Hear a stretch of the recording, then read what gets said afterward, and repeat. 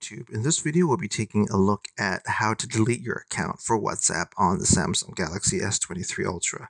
This will work for the S23 Ultra and most versions of the S23 as well.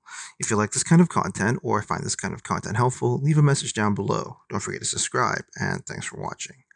So if you want to delete your account for WhatsApp on the S23 Ultra, thankfully it's pretty easy to do so. The first thing you want to do is actually open up WhatsApp. Once you have WhatsApp opened up here, you want to hit the three lines button at the top right of the screen, and you can use this to access your settings. Once you're in your settings, you want to scroll down and you want to look for account. And then from there, you want to hit account and then you want to hit delete account. And as you can see, if you delete account, the account will be deleted from WhatsApp and all your devices. Your message history will be erased and you'll be removed from all of your WhatsApp groups.